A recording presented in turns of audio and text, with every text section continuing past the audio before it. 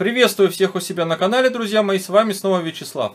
И сегодня в моем выпуске, вы не поверите, очередной 7-дюймовый долголет. А, данный проект я, если честно, не планировал строить. А, про него еще две недели назад узнали мои подписчики в моем телеграм-канале. Да, кстати, не забываем на него подписываться. Все ссылочки внизу в описании под видео, а также в закрепленном комментарии. Там я иногда гораздо чаще, чем на YouTube канале, выкладываю какие-то свои определенные фотки, короткие видео и свои проекты. А вот, по поводу данного 7-дюймового долголета. А, раму я использовал Foxir Aura, обзорчик также на эту раму есть у меня на канале, сейчас вы увидите подсказочку. Появились у меня еще отличные моторы в моем любимом размере 28.06 с половиной 1350 кV, это Foxir Datura Данный размер в последнее время у меня в приоритете. А, я строил дроны и на моторах LPD Brother Hobby 2806,5 кв. И использовал я моторы iFlight Xing 2806,5 тоже в районе 1300 кв или 1350 точно не помню. Использовал Ersin Power 2806,5. И теперь вот руки дошли, как говорится, до очередных новых моторов. Если честно, по опыту скажу, все эти моторы каких-то преимуществ друг перед другом не имеют. В принципе, все они выполнены качественно. А, большие подшипники использованы, неодимовые магниты скругленные, а, с минимальными зазорами а, между статором. Вот. А выбирайте моторы, ну, кому, кому какие больше нравятся чисто по дизайну. Если честно, вот как бы у меня вот эти моторки у меня есть, скажем так, на вооружение. И ставлю я их, допустим, чисто вот, чтобы внешне все это было гармонично и красиво. Допустим, на данной рамке вот эти моторы смотрятся просто, ну, просто клево. Вот, давайте, наверное, сейчас чуть-чуть вкратце расскажу вам про этот э, квадрокоптер. Немножечко на столе его поразглядываем и переместимся в поле. Учитывая, что его строить я не планировал, все получилось спонтанно, соответственно, электронику тоже специально я нигде не закупал. У меня э, был мой гоночный, точнее фристайловый квадрокоптер – на классическом полетном контроллере от компании Motec F405SE, на который, кстати, можно накатить Ardu Pilot, если что. Также старый, добрый, всеми любимый регулятор 4 в одном Racer Star 35 ампер. Ну, всеми любимый раньше, сейчас уже, честно говоря, не знаю. А, видеопередатчик тоже старенький Motec, который снят с производства 800 милливатт. И да, немножечко я отошел от своих стереотипов и правил, не поставил стойку GPS – а поставил GPS в родной багажничек. Багажничек находится под углом 15 градусов, я сам лично проверил. Поставил GPS Motec с компасом. Настроечки все сделал в iNavi, и если честно, летает все это классно. Да, кстати, в телеграм-канале я скидывал, что в городе его немножко унитазит. В поле также у меня он унитазинг, но в поле, где нету никаких наводок, я перекалибровал его полностью. Взлетел, и в удержании позиции он очень даже классно висел. Так, давайте, ладно, немножечко на столе его поразглядываем и покажу вам первые кадры полетов этого дальнолета. Как бы особых каких-то каких тестов в этом выпуске не будет. Просто поделился с вами очередной игрушкой, назовем это так. Ну и, в общем, давайте дальше смотреть, что он из себя представляет и как он летает. Погнали. В общем, друзья мои, переместились мы на стол, чтобы немножечко поближе разглядеть всю эту красоту. Давайте быстренько и вкратце вам еще расскажу. Самого главного я вам, кстати, так и не сказал.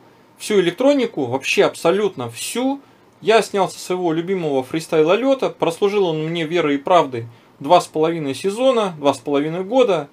А, классическая электроника на нем, 35-амперный рейсерстаровский регулятор 4 в одном, Матековский F405 SE, контроллер полета, пищалка автономная, видео, передатчик Матековский на 800 мВт. Кстати, он мне, если честно, в последнее время сильно не нравится. Я думаю, не просто так его сняли с производства. У него нету экрана, он подсирает вообще, что только можно подосрать, даже в собственное видео. Вот, в общем, самое новое, что из всего этого есть, и что мне, точнее, в первую очередь хотелось протестировать, это вот эти замечательные новые моторы, не фокусируются. Foxir Datura 2806,5, 1350 кV. Данные моторы очень эффективно себя показывают на 7-дюймовых долголетах на аккумуляторах 4S, но, кстати говоря, особенно эффективно на 5S. Но в этот раз, правда, полетаем пока на 4S, возможно, какие-то в дальнейшем еще проведу определенные тесты на 5S аккумуляторе. Вот, в общем, по железу, в принципе, наверное, все. Из нюансов, да, как я вам уже сказал, поставил я в багажник GPS, все это отлично работает. Ну как отлично? Возможно, мне повезло, там пару полетов, вроде все неплохо.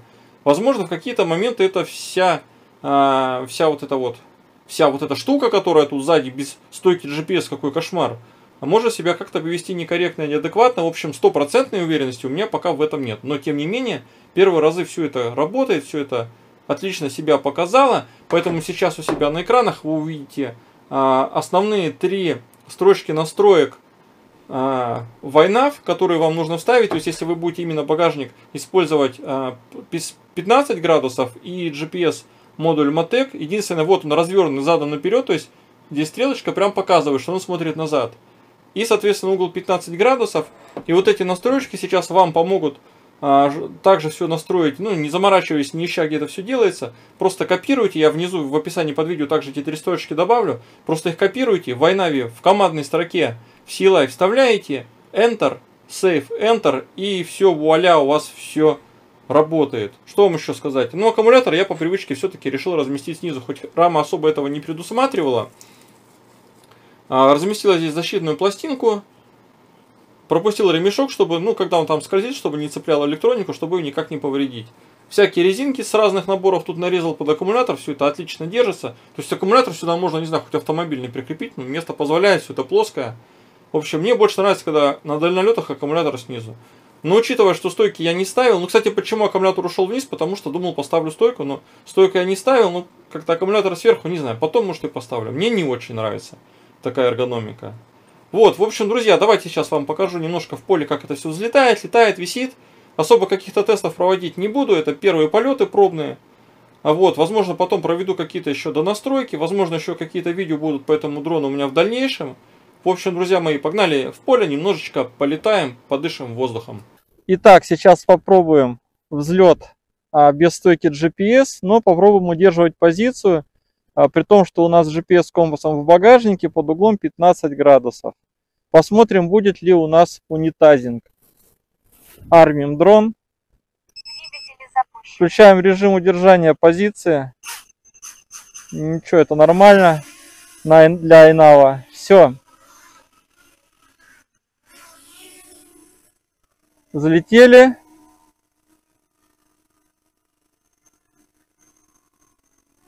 Высоту не держит, потому что я режим удержания высоты не ставил. Нам сейчас главное посмотреть, как он держит позицию. Итак,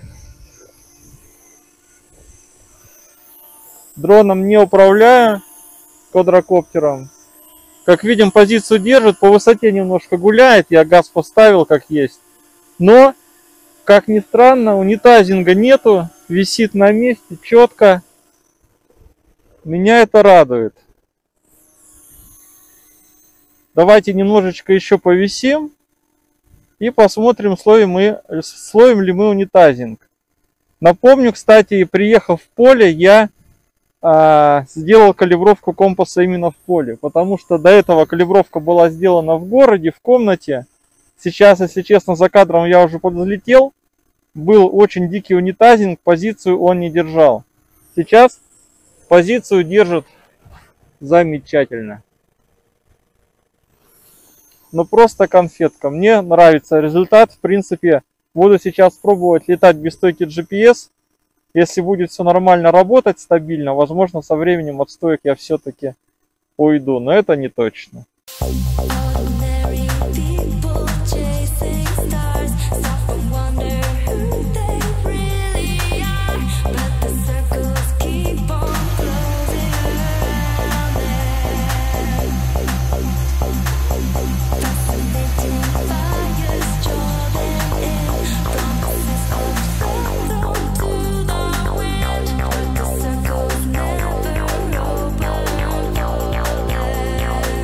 Передачи все-таки стоит заменить.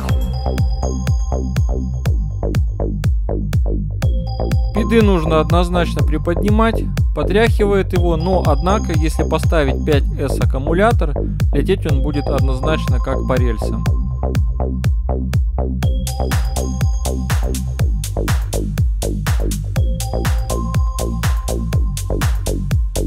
Максимальная скорость 115 км в час. Это именно на 4S. На 5S опять же она будет выше.